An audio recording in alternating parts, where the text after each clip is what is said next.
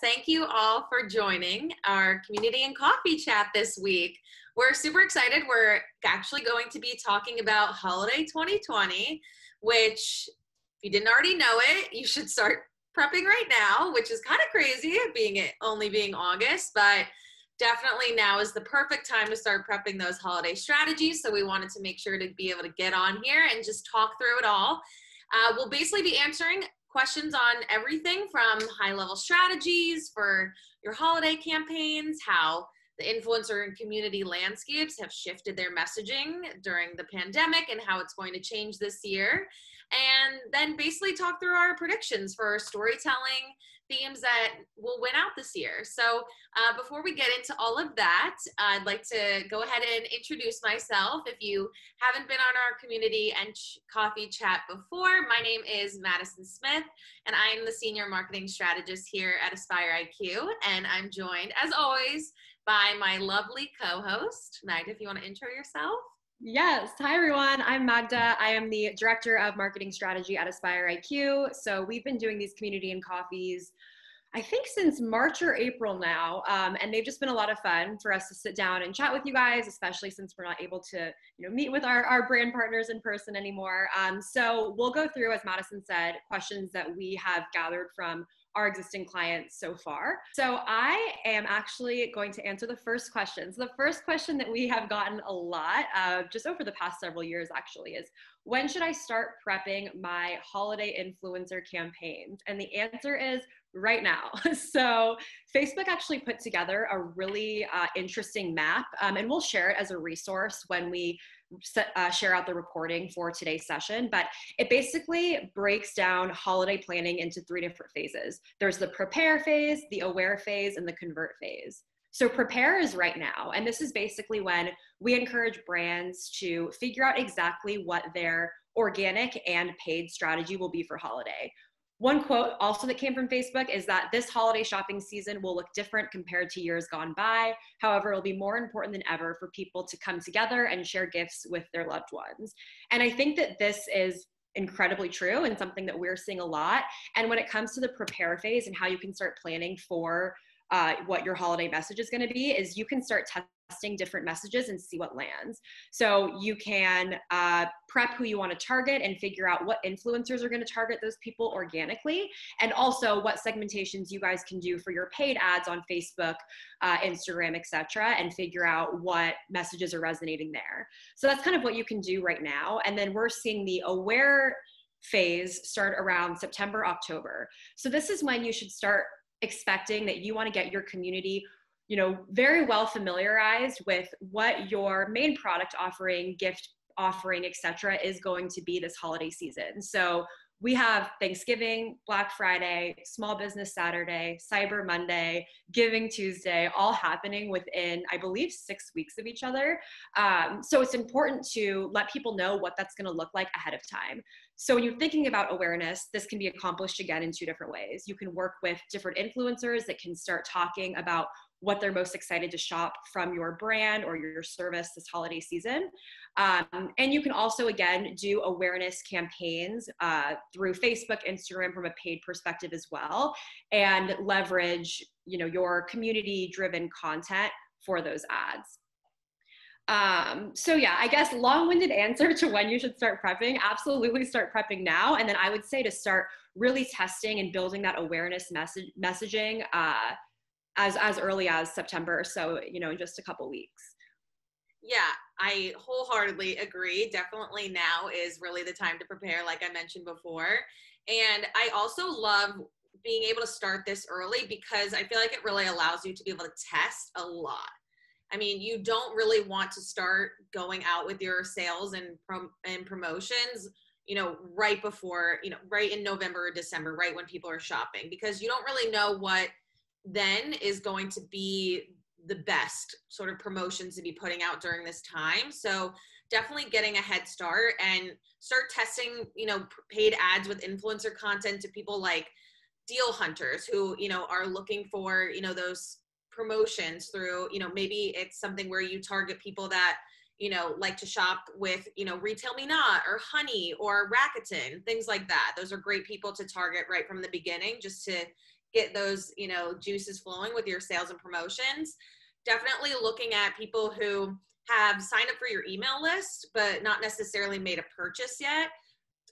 Pushing out emails to them that are like your best most popular products just to sort of whet their palate as to what you might be offering this holiday season or just to get you know their mind churning about what they might want to purchase this holiday season. And then you know obviously going through your your loyal members. So what special discount or promo or sale are you going to have for your you know your best customers your most loyal fans?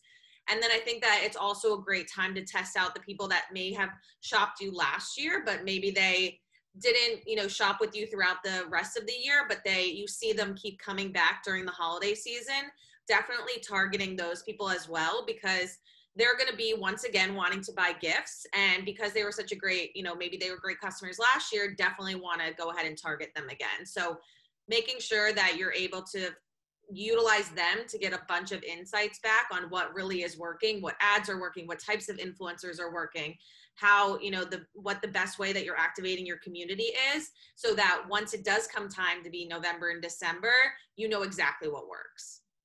Yeah especially since it it's you can't be as predictive as you have been in past holiday seasons where it's like generally this works for us because things are so different. I think another thing that has come up is the difference between people shopping um, on a needs base versus a wants base. So figuring out that ahead of time too. Are your customers, are the people that were shopping last year looking for the same types of products, the same price point? What's feasible, what's not? Unfortunately, you know, everyone knows that unemployment is incredibly high right now. That could change the way people are purchasing. So to your point, Madison, I think testing early and testing right now is going to be critical. That way, when you do turn on these campaigns, for a lot of businesses, especially businesses that may have been struggling with sales during this time, this could be a really great bounce back time. So you don't want to miss this opportunity and uh, you know turn on a campaign as you normally would and risk it not performing as well as it has in, in seasons past.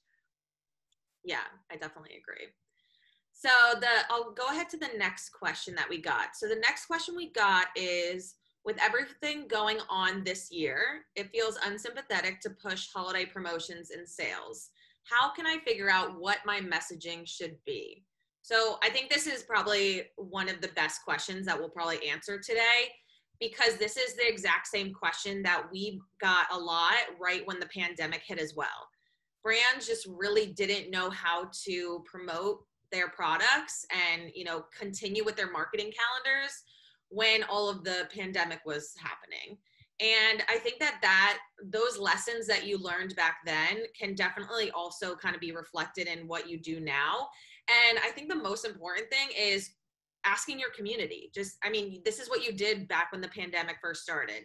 You asked your community what they wanted to see. What would be helpful for them? Is it just somebody to hear you out and just you know a lot of brands had you know discussions zoom meetings. Chipotle had a bunch of zoom meetings that they hosted just to connect with their their community and i think that that's something that you can now bring back into the holiday season is tapping into your community your loyalists and ask them you know how should we go ahead and navigate this holiday season when people might be like Magda, you said, where people might really more be shopping for their needs rather than their wants this holiday season. So, you know, one way you could do that is maybe on Instagram. You have, you know, you post something where you have your followers comment on an Instagram video or, you know, ask them to tag you in their stories of a video of you explaining, you know, how they'll be shopping this year and what you can do and what maybe your products can do to really help them this year. I think that might be one way to do it. Um, another way I think that you can kind of push your messaging is more I, i'm a big fan of gift guides. I, I love gift guides for the holiday season. I think they're a great way to showcase your most popular items but also maybe other items that go with those products or services that you you know that you promote that people may not have thought about um, and just i mean also you can kind of interlace your products if you're like a food brand with recipes and things like that. That's great for the holiday season but with gift guides specifically i just love that they're really a great way to promote kind of your holiday sales but taking them a step further this year which is what i've been recommending to a lot of people who have started asking about kind of how they can do this um, their promotions this this holiday season but partnering with influencers to create the gift guides instead of necessarily your brand pushing out the gift guide. And the the reason why I think this would be the most beneficial this year is because they're having an influencer create the gift guide is it not only creates this like very authentic kind of personalized content but and through somebody relatable which is obviously what you want the most but you can have them create a gift guide really based on their real friends and families. And instead of those like overdone gift guides that are like, oh, what to get for mom this, you know, Christmas or whatever it may be, whatever holiday that you celebrate, or you know, the friend who has everything. We've seen all those gift guides. Like, you know, we it, something needs to change this year, and I think this is the perfect time to do it. Is having influencers make guides that are like what to get your friend who's you know at home with three kids right now who may be juggling their job with teaching their their children during this holiday season all while trying to you know put on a holiday season.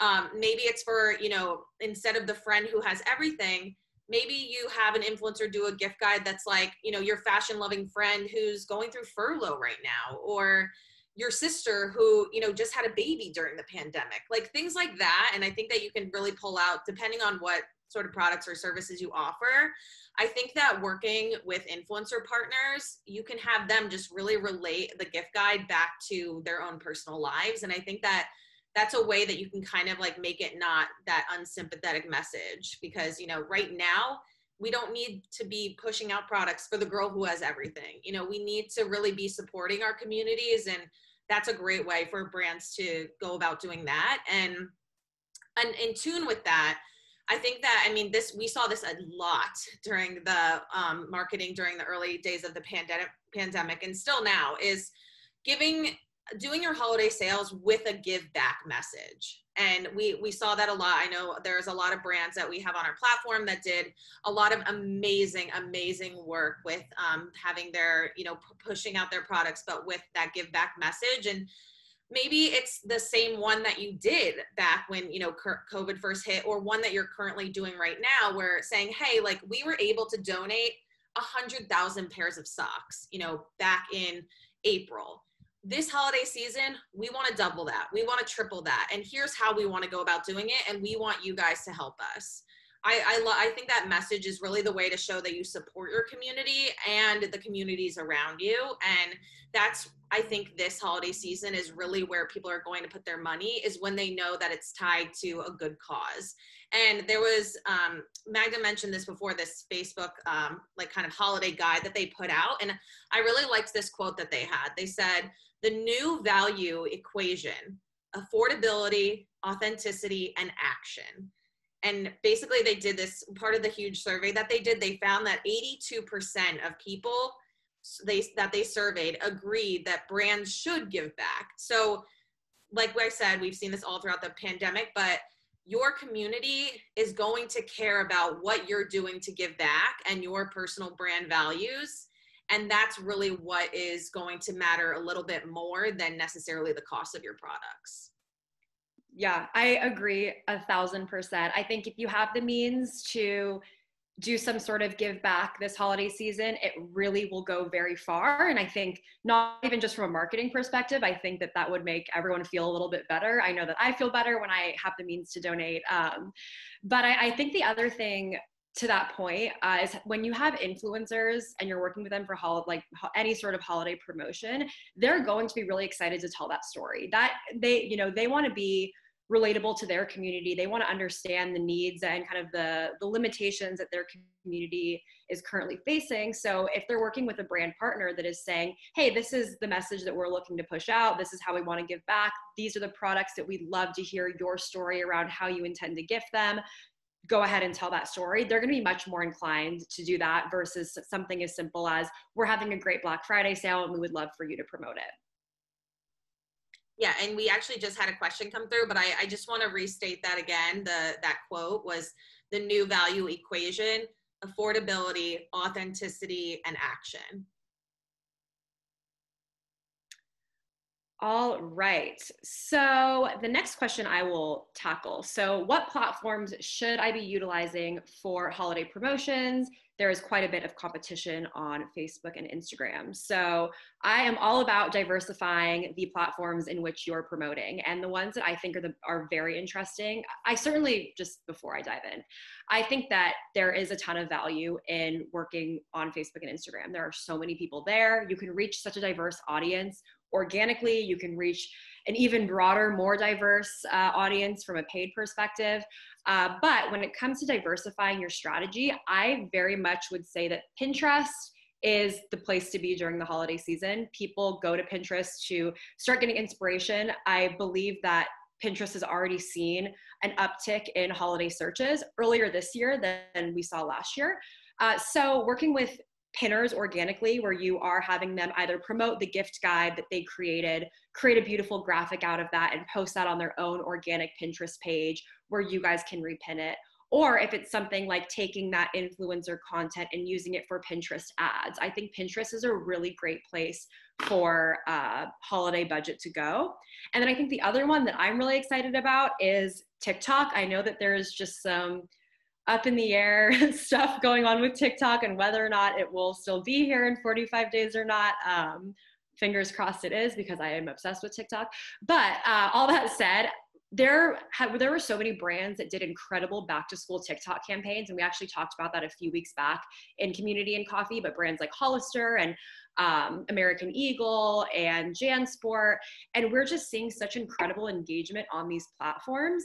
And I think that that's something that absolutely could be replicated for holiday. So maybe it's not even promoting a holiday sale, but given the way Gen Zers just interact with brands in general, TikTok could be a great place to promote whatever your holiday, you know, charity give back or or you know whatever that looks like, whatever the values are that you want to, you know, bring out even stronger than ever this holiday season. It would be awesome to align with TikTok creators, have them create something that could very easily go viral and just see hundreds of thousands, if not millions, of pieces of user generated content come back around that trend. TikTok is incredibly interesting, and I think that it's one it's a place where brands definitely should experiment uh, over the holiday season. And then I think that you know there's there's other tactics. So when you think about your email marketing campaign and your um, just content distribution campaign in general, I think that this is something that we always say, but sorry if you guys are hearing that ding for my next call. um, but this is something that we talk about all the time. But leveraging personalized content, content that is created by your influencer community, content that's created by your customer community, and using that for your email marketing efforts on your website for your own gift guides as you guys are creating your own content in house. That's going to be incredibly powerful, especially when that's combined with the powerful storytelling that you're empowering your community of influencers to create. Um, but yeah, I would say definitely Instagram, Facebook for sure are, are reliable and steady, but definitely get experimental on Pinterest. And you know if tiktok is is still around i would you know very much encourage brands to test what organic tiktok partnerships look like as well as tiktok ads for that for those who that's available to. Yeah i'm a big fan of pinterest. So if you want to look up a way to, a, a great tool on pinterest is the pinterest trends tool definitely go ahead and Google that and look that up. It's very fun to play around with. All right, so I'll go ahead and take the next question. So, what are some strategies I can use to activate influencers in the most successful way this holiday season? So, I think that you can use influencers in a, a couple different ways. So the most important one is definitely to continue to utilize the people that you've worked with in the past that you've done partnerships with and you were really happy with the results. This way they're they're really continuously kind of looping your brand message into their everyday life and your values as well and that that being able to lead up to the holiday season it's not going to feel like inauthentic when you know an influencer just kind of talks about your brand one off if people have been seeing your brand looped into the messaging with a specific influencer for the past couple months then it's just going to make a lot more sense come come time to promote your like November and December sales. And when they've been posting about it the past few months then it just makes sense and is very authentic to be able to then weave it in for the holiday season so definitely definitely utilize your previous influencers that you've continued to work with um, that you've had also had great results with.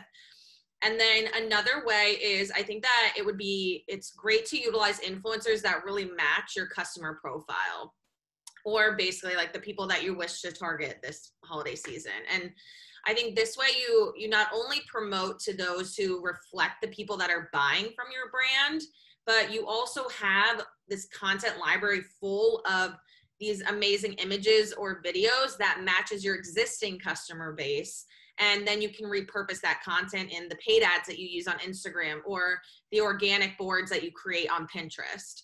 Um, people really, I mean, we all know this. People want to be able to see themselves in the content that your brand puts out. Um, that's going to be even more important this holiday season. Um, so I think that that's definitely the best way is utilizing this influencer content, being able to get a diverse amount of influencer content that really matches that customer profile of the people that and then you can kind of retarget on paid ads with lookalike audiences but um, matching those customer pro- profiles in the data so i actually just finished reading this really great report that came um, that was done by Sailthru so if, if anybody wants to read it it's called the holiday marketing 2020 playbook. And i really liked this quote that they had in it um, marketing teams with data at the center of their strategy achieve ROI 15 to 20% greater than those that don't effectively leverage customer information. So I think that goes goes very well with the the idea of matching the influencers you work with with that customer profile because you know you're able to take the data that you've gotten from your previous customers and really match it to influencers and create that amazing content that then you can go ahead and repurpose. And then also when it comes to data utilizing those influencers you've worked with in the past that you've had great results with and just reactivating them. Yeah i i agree with all of those points. Um so the next question, I believe it is second to last, is how should I use influencers to promote my sales and promos? So obviously holiday sales are critical. As I mentioned earlier, there are a lot of businesses that are really relying on this holiday season to drive more revenue for their business. So it, it is, you know, very understandable that you know you look to influencers to help with that promotion. So i think the first thing is to get an idea of how many other brands these influencers are planning on working with over the holidays. Because if you're partnering with someone that is just pushing out tons and tons of coupon codes or just promoting one sale after another yours is probably going to fall a little bit more on deaf ears. So aligning with people that are being more strategic maybe just working with a handful of brands. And to madison's point reinvesting in some of those influencers that you have worked with in the past, I think is a really good strategy to make sure that the message that you're telling uh, is really clear and um, is not cluttered by by other brand stories. And then I think the next piece is once you find those partners that you think are going to do a really great job of telling that story, you can figure out kind of a gradual promotion strategy. So maybe right out of the gate, they're not saying, here's the Black Friday sale, here's everything, but maybe they start posting as early as October and they have a 10% promo that's exclusive to them. And then as they get closer to the holidays, they're saying, actually, you know, I am so excited because this brand actually just ramped it up to 25% off. And and having that uh I guess that that anticipation and that urgency by by having these limited time offers and then having kind of towards the end or even on Black Friday you know, I usually had 10%, now I have 25%, go, go, go. I think that that's going to be something that'll be exciting to consumers. And then I think all of that said, it does need to pair with these you know these storytelling I, I, think that again like you don't want to work with someone for just a one-off sponsored post where they have no affiliation with your brand and all they're posting is go shop their black friday sale you want to have some sort of build up that can happen you know for example on instagram in the feed and then the story can happen um, on Instagram stories, IGTV, the new Instagram reels. You have space to kind of build out longer form content. But um, yeah, I would say aligning people that are not promoting too many different brands and then do some sort of promotional um, build up 10% to 20% to 25% and figure out ways in which that influencer can tease that out. Yeah, I love that. And I think something to add to that too is that and I think that some brands kind of do this, but I think that it'd be a great promotion strategy for everyone is to to remember that promotions don't necessarily need to be monetary. Like they can be something that is maybe you know a gift card bundle that you know you buy so many gift cards and you get you know so whatever it may be um, or doing like a, a, freebie with the purchase that's that's actually a great way with influencers to promote like oh you know here use my personal code to get you know a, a travel size version of my favorite product in addition to what you're going to end up ordering. And that again is great data to collect because then maybe those people that end up buying and getting this freebie maybe then they end up you track that they end up um, you know coming back and buying that full size of the product that you ended up giving as a freebie so i think that that as well is to definitely think about you know not necessarily just a promo code is like what other incentives can you give people that may not be monetary yeah I agree 100%. I just saw a question that came in about the holiday marketing playbook. So we will go ahead and uh, record or uh, edit this session and we will have the recording here and then we'll also include links to the resources that we're talking about and we can just send that out in a follow-up email to everyone that registered um, i know we only have a couple minutes left but one last thought uh, before we go is this question that is what's a better strategy play for my brand focusing on short-term goals i.e., holiday sales, or really kind of forgetting about the short term goals and really just being laser focused on the long term goals around brand loyalty? And the answer is it, it, has to be both. I think that right now, as I had mentioned before a couple times, holiday sales are very critical to a lot of brands. So it's important to figure out what strategies can I do to drive sales in the immediate near term. But ultimately, your long term strategy should be focused on driving relationships and building your community and building goodwill with your customers. I think that even if this season it's not going to be as big purchase value as it has been in seasons past, I think it is really important to continue to nurture your communities, your customers, have that, you know, high touch interaction with the people that matter most to you whether they are you know social media advocates influencers top fans, you know, repeat customers, figuring out how you can continue to nurture those relationships is going to be really important.